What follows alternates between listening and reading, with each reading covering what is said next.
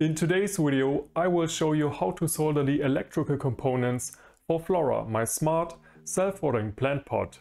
Let's go!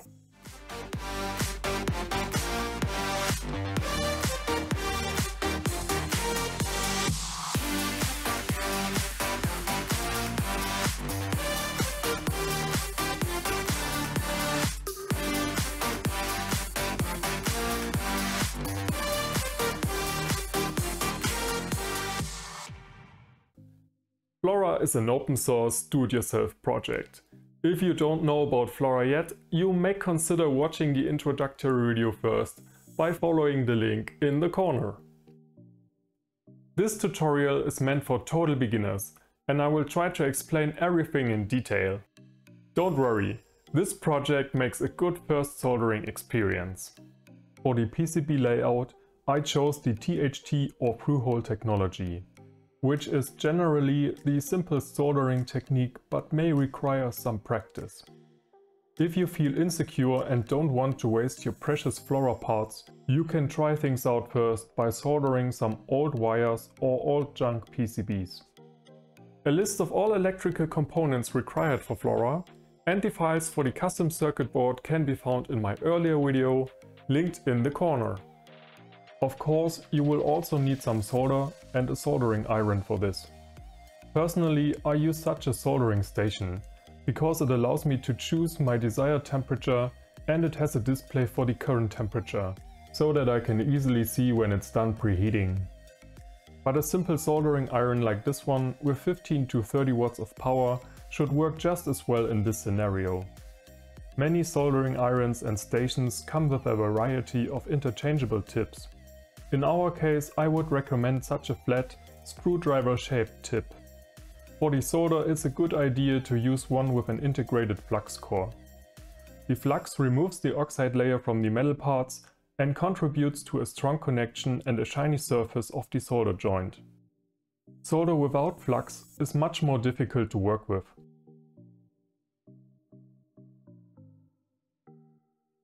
Other useful items are cutting pliers, a cable stripping tool, a so-called helping hand like this, and solder wick, which I will explain later in this video. Alright, now let's start with the actual soldering work. As the first step, we turn on the soldering iron to preheat it. If you have a soldering station, set it to 350 degrees Celsius and wait until the temperature sensor has reached this value too. For the simple soldering iron, you need to guess when the working temperature is reached, but 10 minutes should probably be enough. The position of each component is marked on the circuit board. To keep the parts in place while soldering, it's easiest to begin with the flat ones. Let's start with the diode. Bend the legs in a 90 degree angle and slide them through the holes next to the D1 label on the board. For this part the right direction is crucial. Therefore, make sure that the small marking on the diode is on the same side as the marking on the circuit board.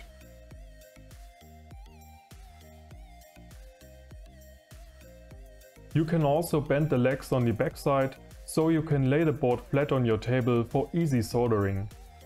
Now take your preheated soldering iron and apply a small amount of solder to the tip. If it doesn't melt, it's either because the temperature is too low or because there's some dirt or rust on the soldering tip. Remember to clean your soldering iron with a wet sponge every now and then.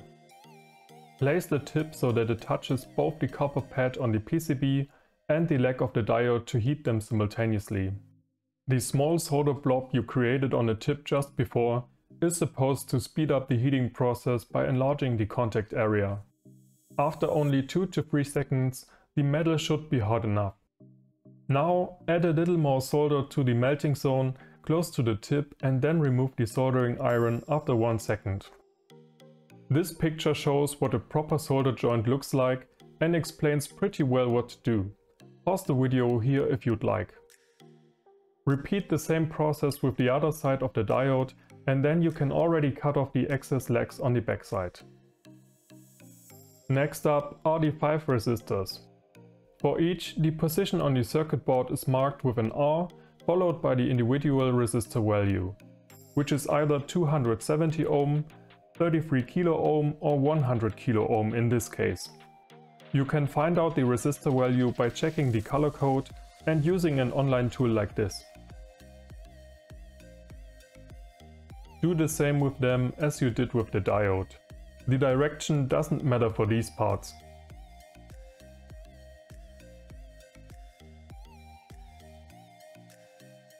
After that, repeat the process with the 100 nanofarad capacitor. With a ceramic plate capacitor like the one in the parts list, the direction is irrelevant again.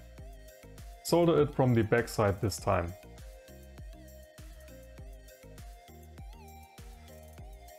For some other capacitor types, you have to make sure that the marked side faces the ground copper pad. Let's continue with the battery cable. This will later be plugged into the connector of the ESP32 microcontroller.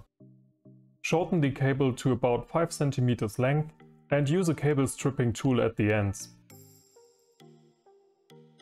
If you don't have such a tool, you can use scissors or cutting pliers instead, but that's more complicated and requires a special technique.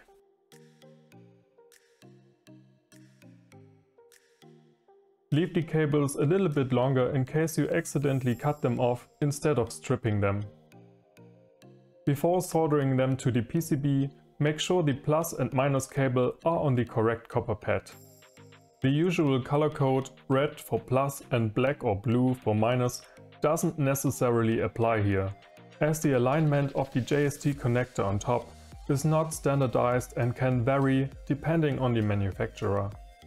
An easy way to take that into account is to plug the JST connector into the ESP32 and check which cable is on the marked plus side in this case.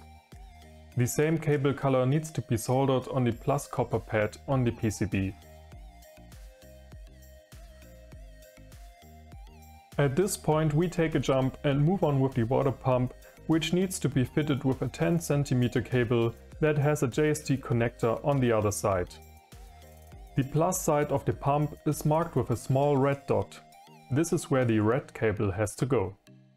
You can insert the stripped cable ends through the holes on the pump's contacts and bend them into a hook shape to make soldering easier. A helping hand tool is very useful to hold everything in place.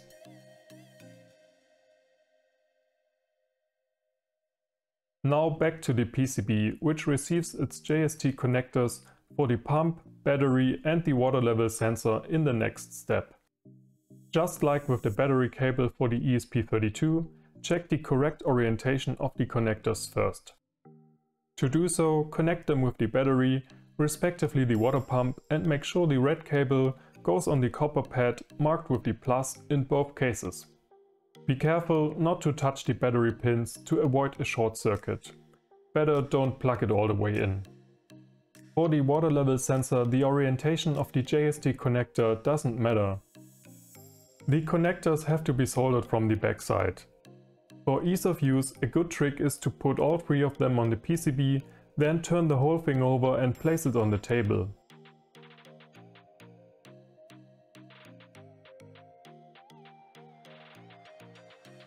After that, repeat the same process with the female pin headers.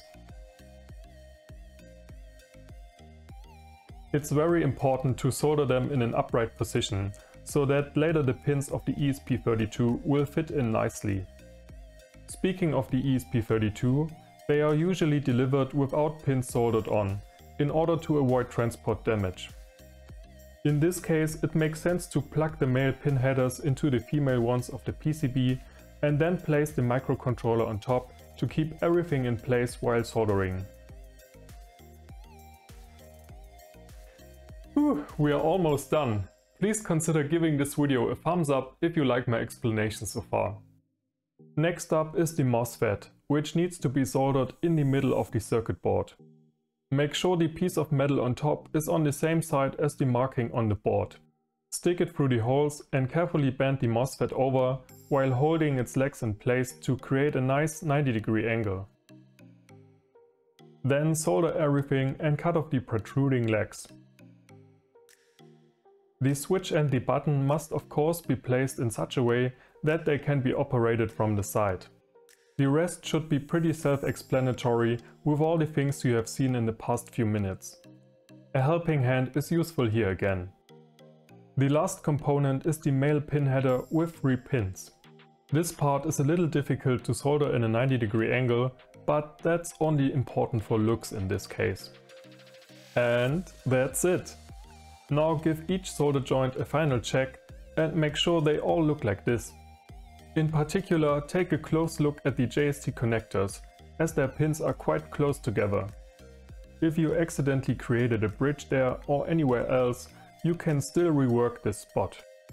In my opinion, the easiest way to remove excess solder is by using such a solder wick. Simply place it on the joint while heating it with a soldering iron and watch the capillary forces suck out the solder. Do you have any additional tips or do you think I forgot something? Then please help other people by sharing your knowledge in the comments. My next video will show you the mechanical assembly of Flaura and after that I will explain the program code for the microcontroller. So remember to subscribe to this channel to not miss the release of these videos. Alright guys, that's it for today. Stay tuned and see you next time.